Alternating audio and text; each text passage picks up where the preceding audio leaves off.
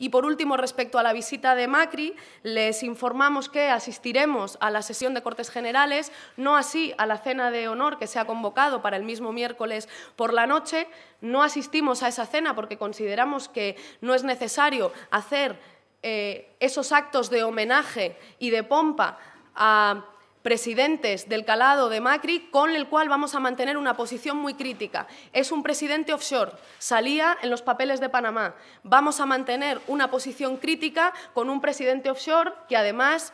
durante su mandato, todavía corto,